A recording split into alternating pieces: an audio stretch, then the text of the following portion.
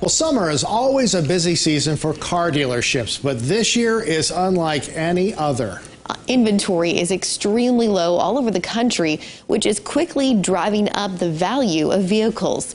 What the trade-in market looks like right now in tonight's Your Money Matters. I walked into the lot and saw a brand new SUV that I'm really looking at. Karen Murphy has been buying and trading cars at Vern Eide Honda for years. About 25 years at least. And she's always on the lookout for her next ride. I just spotted this one blue pearl type car and it just caught my eye like the first baby I'd ever had and I have five children so a beauty she was able to take home for a much better deal than expected. I didn't realize what was ahead here with a with a good trade-in market. For instance, Honda Pilot values probably went up $2,000 over two months for trade-ins. Trade-in values are up across the board with used vehicles in high demand as new car manufacturing continues to be delayed. The microchip problem is starting to get into some people's inventories. And a lot of the rental car companies aren't able to get the new cars, so they're actually buying late model used cars to put back in their rental fleets. So that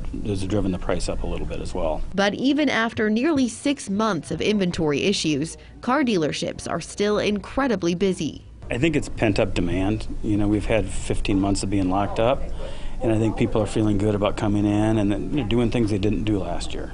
After 20 years in the car business, Vern Eide Honda sales manager Steve Agabraten says last month was the most fun he's ever had on the job. You know, we have a pretty good selection of used car inventory because we did have a record new car month last month, which took in a lot of great local trades. We've only put 11,000 on it. We bought it last May. With locals like the Murphys adding even more highly valued used inventory to the lot.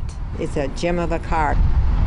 I'm sure it'll go quickly. Inventory has been such an issue that some dealerships are making cold calls or sending mailers to former clients asking if they can buy back vehicles right now.